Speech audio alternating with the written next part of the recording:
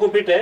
इसमें थोड़ा सा वर्मी कंपोस्ट मिला देते हैं और इससे नर्सरी बहुत अच्छी तैयार होती है। इसको ऐसे भरते हैं। थोड़ा सा आड़के हाथ से ऐसे भरने के बाद में इसको होते ही अपना तैयार हो है।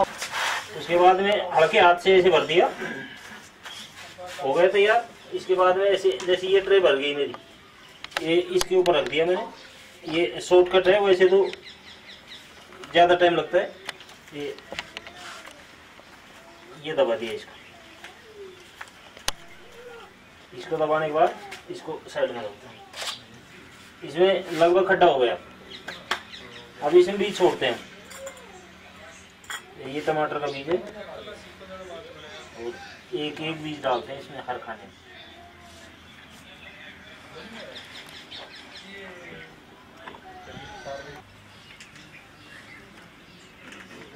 लेकिन इसमें ऐसा कुछ भी नहीं है। सारे के सारे बीज अंकुरित होते हैं और मौसम का कोई प्रभाव नहीं पड़ता। जैसे अगर मौसम खराब होता है तो ये ट्रे को उठाते हैं और इसको अंदर रख देते हैं और फिर जैसे मौसम सही होता है, फिर बाहर रख देते हैं। और कम बीज में ये सारे पौधे अच्छे तैयार होते हैं और सारे पौधे ओज युक्त होते हैं। समस्त पौधे होते हैं सारे, जो खेत में लगाने के बाद भी बहुत अच्छा उत्पादन देते हैं। बीमारी रोग रहित होते हैं, बीमारी कीट रहित पौधे तैयार होते हैं। मेन चीज़ तो सबसे बड़ा बेनिफिट ये है कि अगर हम बाहर पौध लगा रहे हैं अगर बरसात आ गई या कोई मौसम में बरसात आ गई और तो अवृष्टि हो गई तो हमारी जो मेहनत होती है वो सारी बेकार में व्यर्थ चली जाती है। लेकिन इसमें सारे ये आधुनिक तरीका है नर्सरी तैयार करने का तो इस वाले पार्ट को क्या क्या नाम देते हैं पोल्ट्री फ़ार्मिंग या क्या कहते हैं? ये अपनी पॉइंट ट्रे होती है जो पौध तैयार करने की जो ट्रे होती है प्लास्टिक की पॉइंट ट्रे बोलते हैं। और ये कॉकोपिट होता है जो नारियल होता है वर्मिकुलाइट और पर, परकुलाइट हाँ। ये उनके मिश्रण से कोकोपिट तैयार किया जाता है। और इस जो खाद में पोषक तत्व बहुत अच्छे होते हैं उसको हम पानी में भिगोकर साथ में जो केचुअल के द्वारा तैयार किया हुआ खाद होता है उसमें इसको मिक्स करते हैं। और मिक्स करने के बाद इसमें हम भरते हैं जैसा अभी घनश्याम जी ने अभी ये ट्रे भरी है उसके बाद में एक एक बीज करके और जो इसके जो ये रखने होते हैं ट्रे के उसमें एक एक बीज हम डालते हैं। अब एक ट्रे में लगभग 98 रखने होते हैं तो 98 पौधे ही तैयार होते हैं। और सारे बीज अंकुरित होते हैं। बिल्कुल बिल्कुल। तो सबसे बड़ा बेनिफिट तो ये है कि अंकुरित होते हैं। जबकि जब बाहर ये नर्सरी तैयार करते थे तो वहाँ सारे के सारे बीज इनके अंकुरित नहीं। होते थे। तो बहुत बढ़िया सर आप एक तरह से मॉडल फार्मर के रूप में इस तरह की सेवाएँ आप प्रोवाइड कर रहे हैं। और जहाँ पहले पौध के लिए किसान को बहुत दूर दूर भटकना पड़ता था आज वो वर्मी कंपोस्ट यूनिट लगाकर और इस तरह से ट्रे में हाँ, ये अपने। बीज को अंकुरित करके और घर ही पौध तैयार कर घर पौध तैयार करें इनकी लागत बहुत कम आ रही है। पहले किसानों की लागत बढ़ गई थी लेकिन हमने धीरे धीरे ये तरीके जो आधुनिक तकनीकी अपना कर लागत को कम कर लिया है और ये अच्छी प्रकार से बहुत कम समय में अच्छी पौध तैयार कर लेते हैं इस तरीके से। अब इसके बाद क्या करेंगे सर आप इसमें?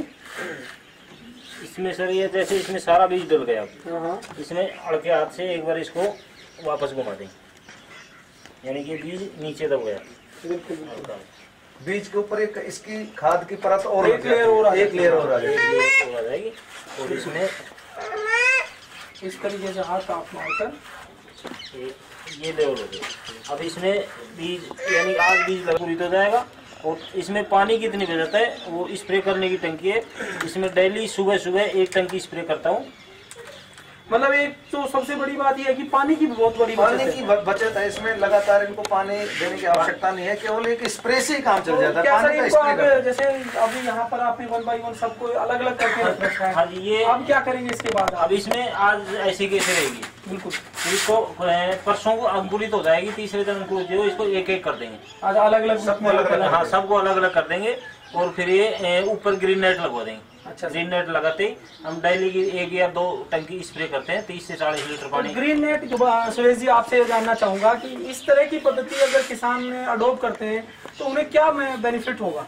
देखो इसका सबसे अच्छा बेनिफिट तो है कि इसमें कम समय में पौध तैयार हो जाती है। अगर अपन बाहर खेत में अगर पौध तैयार करते हैं उसकी तुलना में कम समय में इसमें पौध तैयार हो जाती है। दूसरा सबसे बड़ा इसका फ़ायदा ये है कि इसमें जो पौधे होते हैं रोग और कीट रहित होते हैं स्वस्थ पौधे होते हैं। और अगर स्वस्थ पौधे इससे तैयार होते हैं तो खेत में इनको हम ट्रांसप्लांट करते हैं तो वो खेत में भी अच्छी वृद्धि करते हैं और रोग रहित होते हैं। तो इसके बहुत सारे अच्छे फ़ायदे हैं। फिर मौसम जलवायु का कोई इस पर नुकसान नहीं पड़ता है।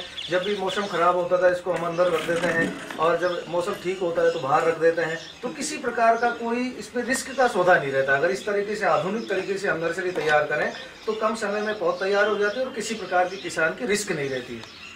बहुत बहुत धन्यवाद, सर।